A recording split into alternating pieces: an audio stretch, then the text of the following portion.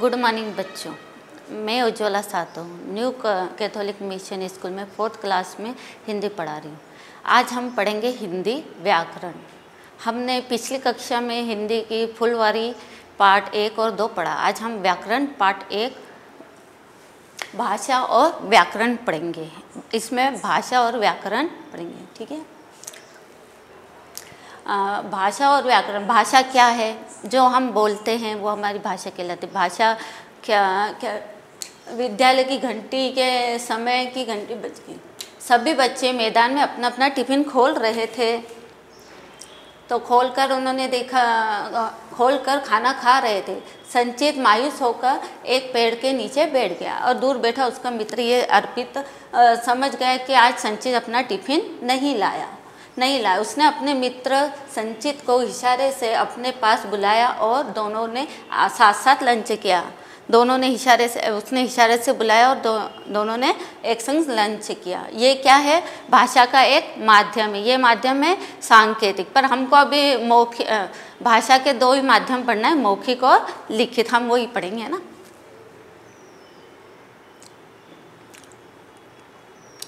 भाषा वह माध्यम है जिसके द्वारा हम अपने भाव तथा विचारों का आदान प्रदान करते हैं। भाषा क्या है? भाषा वह माध्यम है जिसके द्वारा हम अपने भाव और विचारों का आदान प्रदान करते हैं। हम अपनी बात दूसरों तक पहुँचाने के लिए भाषा का उपयोग करते हैं। और दूसरा दूसरा हमारी बात सुनकर समझता है। ये क्या कहलाती है? भाषा। भाषा के कितने रूप होते हैं? भाषा के रूप, भाषा के भाषा के दो रूप होते, मौखिक रूप और लिखित रूप। हम भाषा में दो रूप ही पढ़ेंगे, एक मौखिक रूप और दूसरा लिखित रूप। मौखिक रूप में हम जिस भाषा के द्वारा हम अपने विचार बोलकर प्रकट करते हैं उन्हें, तथा दूसरे को विचारों को, वो दूसरा जो सामने वाला है, वो हमारे विचार सुनकर समझता है उससे भाषा का, क्या कहते हैं, मौखिक रूप कहते हैं। इसमें कौन कौन से आता है? बातचीत करना। हम एक दूसरे से बातचीत करते हैं, एक दूसरे की बात सुनते हैं। ये भाषा, बातचीत करना, कहानी सुनाना। कोई हमें दादा दादी कहानी सुनाते तो वो कहानी हम क्या करते हैं? सुनते हैं। भाषण देना को, भाषण हम हमारे कानों से सुनते हैं, पढ़ना पढ़, हम पढ़कर कुछ बात समझते हैं। भाषा के ये मौखिक रूप में लिखना भाषा के मौखिक रूप में बातचीत करना, कहानी सुनना और पढ़ना आता है। अब भाषा के दूसरा रूप देखेंगे। भाषा का दूसरा रूप है लिखित रूप। इसमें हम अपनी बात अपने विचार दूसरों को लिखकर प्रकट करते हैं और सामने वाला जो हमारी बात क्या करेगा? सामने वाला हमारी बात पढ़कर समझेगा। भाषा के लिखित रूप में क्या हो जाएगा? हम अपनी बात दूसरों को लिखकर बताते हैं और दूसरा उस बात को क्या करता है? पढ़कर समझता है। मतलब लिखित रूप जिस भाषा के द्वारा हम अपने विचारों को लिखकर प्रकट करते हैं तथा दूसरों के विचारों को पढ़कर समझते हैं, उसे भाषा का लिखित रूप कहते हैं। जैसे लिखना लिखना, पुस्तक पढ़ना कहानी लिखना समाचार पत्र पढ़ना आदि ये क्या है? लिखित रूप के उदाहरण हैं। ठीक है? अब हम पढ़ेंगे भाषा। हमारे देश में बहुत सारी भाषाएँ बोली जाती है। जैसे पंजाबी गुजराती मराठी। हमारे भारत में बाईस भाषाओं को दर्जा दिया गया है और हिंदी को भा, राष्ट्रीय भाषा का दर्जा उन्नीस चौदह सितंबर उन्नीस को मिला, क्योंकि हिंदी क्या है? हिंदी अधिकतर हमारे भारत में बोली, लिखी और समझी जाती इसलिए हिंदी को राष्ट्रीय भाषा का दर्जा दिया गया है। अब हम पढ़ेंगे जैसे भारत के विभिन्न राज्यों में भिन्न भिन्न भाषाएँ बोली और लिखी जाती है। ये भाषा और राज्य लिखे हुए, बंगाल में बंगाल आंध्र प्रदेश में तेलुगु, कश्मीर में कश्मीरी, पंजाब में पंजाबी महाराष्ट्र में मराठी, ओडिशा में ओडिशी तमिलनाडु में तमिल, केरल में मलयालम यह आदि भाषा हमारे भारत में बोली जाती है। उत्तर प्रदेश, मध्य प्रदेश, दिल्ली राज्यों की भाषा हिंदी है। अधिकतर राज्यों की भाषा क्या है? हिंदी है। हिंदी को इसलिए राष्ट्रीय भाषा का दर्जा दिया गया है।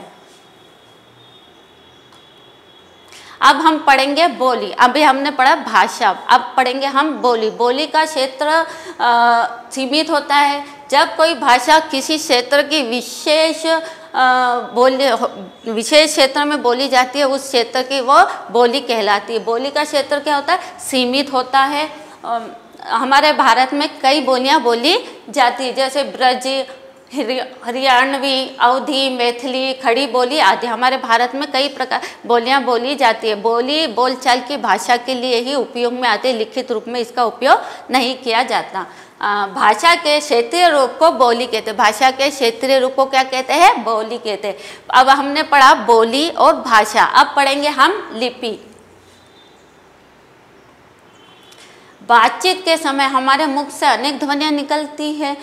इन ध्वनियों को लिखने के लिए हम कुछ चिन्हों का प्रयोग करते हैं। उन चिन्हों को क्या कहते हैं? लिपि। लिपि का मतलब होता है विधि या तरीका, जिस भाषा को हम अपने तरीके से लिखते हैं, वो उसकी लिपि कहलाती है। जैसे हिंदी भाषा की लिपि देवनागरिक है, उर्दू भाषा की लिपि फारसी है। हमारे भारत में कई भाषाएँ बोली जाती है और उनके अलग अलग लिपियाँ होती है।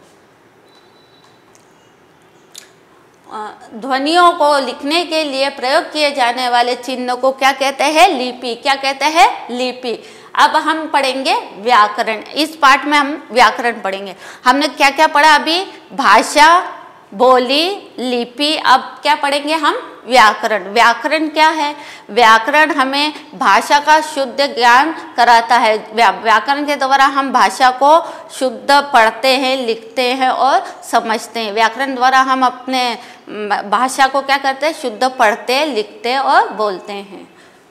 किसी भाषा को शुद्ध बोलना पढ़ना, लिखना और समझना हमको कौन सिखाता है? व्याकरण ही सिखाता है। व्याकरण के द्वारा हम भाषा को क्या करते हैं? शुद्ध बोलना, लिखना, पढ़ना सीखते हैं। व्याकरण, किसी भी भाषा के शुद्ध प्रयोग के नियमों का संकलन क्या कहलाता है? व्याकरण कहलाता है। व्याकरण के भी तीन विभाग होते हैं, वर्ण विभाग, शब्द, विचार और वाक्य विचार। वर्ण विचार शब्द विचार और वाक्य विचार। वर्ण विचार। वर्ण विचार में क्या होता है? वर्ण विचार में वर्णों के भेद, आकार, उच्चारण और उसके मेल का अध्ययन किया जाता है। वर्ण विचार में हम उसके आकार, उच्चारण और उसके मेल का अध्ययन करते हैं। शब्द विचार में, शब्द विचार में शब्दों के निर्माण, उनके विकास, भेद और उसका अध्ययन किया जाता है शब्दों में शब्दों का अध्ययन किया जाता है। वाक्य विचार में वाक्य विचार में वाक्यों के निर्माण, उनके भेद, शब्दों के क्रम और उसके अर्थ का अध्ययन किया जाता है। वाक्य विचार में वाक्य के भेद और शब्दों के विचारों का अध्ययन किया जाता है। ये पाठ में हमने क्या क्या पढ़ा? भाषा पढ़ी, लिपि पढ़ी, बोली पढ़ी और व्याकरण पढ़ा। अब हम इस पाठ के अंतर्गत देखेंगे सही विकल्प पर राइट का निशान लगाना है। ये हमें चार विकल्प दिए गए, उसमें जो सही है, उस पर राइट का निशान लगाना है। भाषा के कितने रूप होते हैं? हमें अभी पढ़ा, भाषा के कितने रूप होते हैं? दो। कौन कौन भाषा के कितने रूप होते हैं? दो। भाषा के किस रूप में हम अपनी बात मुख से बोलते हैं? हम भाषा के किस रूप में अपने बात मुख से बोलते हैं? तो मौखिक में। मुँह से बोला गया, किससे बोलते हैं? मुँह से तो मौखिक।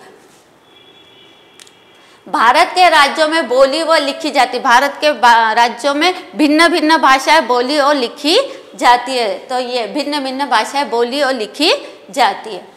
भाषा अगला, भाषा के क्षेत्रीय रूप को क्या कहते हैं? भाषा के क्षेत्रीय रूप को बोली कहते हैं। भाषा के क्षेत्रीय रूप को क्या कहते हैं? बोली कहते हैं। अंग्रेज़ी भाषा किस लिपि में लिखी गई? अंग्रेज़ी भाषा किस लिपि में लिखी गई है? तो अंग्रेज़ी भाषा रोमन लिपि में लिखी गई है। अब भाषा के शुद्ध रूप का ज्ञान कौन कराता है? भाषा के शुद्ध रूप का ज्ञान हमको कौन कराता है? व्याकरण कराता है। कौन कराता है? व्याकरण। प्रश्न के उत्तर लिखो। प्रश्न के उत्तर आपको पीडीएफ में मिल जाएँगे ना? भाषा अब पढ़ेंगे हम प्रश्न नंबर तीन। सही कथन के सामने राइट तथा गलत कथन के सामने क्रॉस का निशान लगाना है। जो सही है उसके आगे सही का निशान और जो गलत है उसके आगे गलत का निशान। हम अपने मन की बात प्रत्येक प्रत्येक बात संकेतों द्वारा प्रकट कर सकते हैं क्या? नहीं। हम अपनी मन की बात संकेतों द्वारा कुछ बातें प्रकट कर सकते हैं, बाकी कुछ नहीं कर सकते तो इसमें गलत आ जाएगा ठीक है? समाचार पत्र पढ़ना भाषा का लिखित रूप है सही क्योंकि पत्र हम पढ़ते हैं लिखते नहीं हैं। केरल राज्य की भाषा मराठी है। केरल राज्य की भाषा मराठी है क्या? गलत। संस्कृत भाषा की लिपि देवनागरिक है। संस्कृत भाषा की लिपि देवनागरिक है सही। शब्द विचार में वर्णों से संबंधित अध्ययन को आ, किया जाता है। शब्द विचार में शब्द विचार में वर्णों से संबंधित अध्ययन किया जाता है क्या? गलत। शब्द विचार में हमें शब्द विचार, शब्दों का अध्ययन किया जाता है। प्रश्न नंबर चार। रेखा खींचकर मिलान कीजिए। हमको रेखा खींचकर मिलाना है। जैसे आंध्र प्रदेश। आंध्र प्रदेश की भाषा क्या है? तेलुगु। महाराष्ट्र की मराठी। कर्नाटक की कन्नड़। ओडिशा की ओडिशा। अब प्रश्न नंबर पाँच, विश्व में बोली जाने वाली, भारत में बोली जाने वाली किन्हीं पाँच भाषाओं के नाम लिखना है? पूरे विश्व में कौन कौन सी भाषा बोली जाती है और भारत में कौन कौन सी भाषा बोली जाती है, इसके नाम लिखना है। विश्व में अंग्रेज़ी, चीनी, जापानी, रूसी और अरबी कौन कौन सी विश्व में बोली जाती है? अंग्रेज़ी, चीनी जापानी, रूसी और अरबी। भारत में कौन कौन सी भाषा बोली जाती है? हिंदी, गुजराती, मराठी, पंजाबी और बंगाली। प्रश्न नंबर छ। हिंदी भाषा में छपने वाले चार समाचार पत्रों के नाम लिखना। हमें जो हम हिंदी भाषा में जो पत्र, पत्रिकाएँ पढ़ते हैं, न्यूज़पेपर पढ़ते हैं, उनके नाम लिखना है। जैसे नई दुनिया पत्रिका दैनिक भास्कर नव भारत प्रश्न नंबर सात, चित्रों को देखकर उनमें उपयुक्त भाषा के रूप में, के रूप लिखना है। चित्र देखकर हमको बताना है कि ये लिखित रूप है कि मौखिक रूप है। जैसे इस चित्र में क्या दिया गया है? बोर्ड पे लिखा है, आज विद्यालय की छुट्टी है। इस, यहाँ पे लिखा गया और बच्चे क्या कर रहे हैं? ये पढ़ रहे हैं। तो ये कौन सा हो गया? लिखित भाषा का रूप। कौन सा हो गया? लिखित भाषा का रूप। इस इस पिक्चर में क्या बताया गया है? ये लड़की क्या कर रही है? म्यूज़िक सुन रही, गाना सुन रही तो ये कौन सा है? मौखिक रूप। इस पिक्चर में क्या बताया गया है कि टीचर बच्चों को बोल के पढ़ा रही है। क्या करे टीचर बच्चों को बोल के पढ़ा रही, समझा रही। तो ये कौन सा रूप हो गया? भाषा का मौखिक रूप। इस पिक्चर में क्या हो रहा है? ये जो आदमी है, वो क्या कर रहा है? कंप्यूटर पे काम कर रहा है। ये क्या कर रहा है? कंप्यूटर पे काम कर रहा है मतलब टाइपिंग कर रहा है। तो ये कौन सा भाषा का रूप हो गया?